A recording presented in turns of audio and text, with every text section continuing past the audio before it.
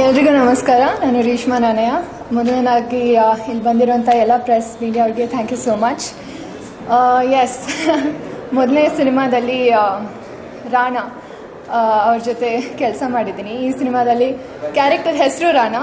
So ಮೊದಲು ಕೇಳಬೇಕಾದ್ರೆ ಮಂಜು sir ಅದೇ ತಮಾಷೆ ಮಾಡ್ತಾಯಿದ್ರು ನೋಡು, ನಿಂಗೋಸ್ಕರ ನಾನು ಶ್ರೇಯಸ್ ಕ್ಯಾರೆಕ್ಟರ್ ಹೆಸರೇ ರಾಣಾ ಅಂತ ಇಕ್ಕಿದ್ದೀನಿ ಅಂತ.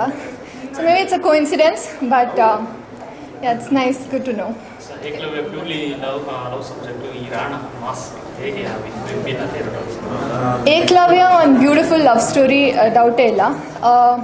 ಈ ಸಿನಿಮಾದಲ್ಲಿ ಹೇಗೆ ಬೇರೆ ಸಿನಿಮಾದಲ್ಲಿ ಫಸ್ಟ್ ಲವ್ ಸ್ಟೋರಿ ಆಗೋದೇ ತೋರಿಸ್ತಾರೆ how they fall in love ಹೇಗೆ ಜಗಳ ಮಾಡ್ತಾರೆ ಹೇಗೆ ಪ್ರೀತಿ ಆಗೋದು ತೋರಿಸ್ತಾರೆ ಎಲ್ಲ ಈ ಸಿನಿಮಾದಲ್ಲಿ ಅದೇನೂ ಇಲ್ಲ. ಆಲ್ರೆಡಿ ಕಮಿಟ್ ಆಗಿರ್ತೀವಿ.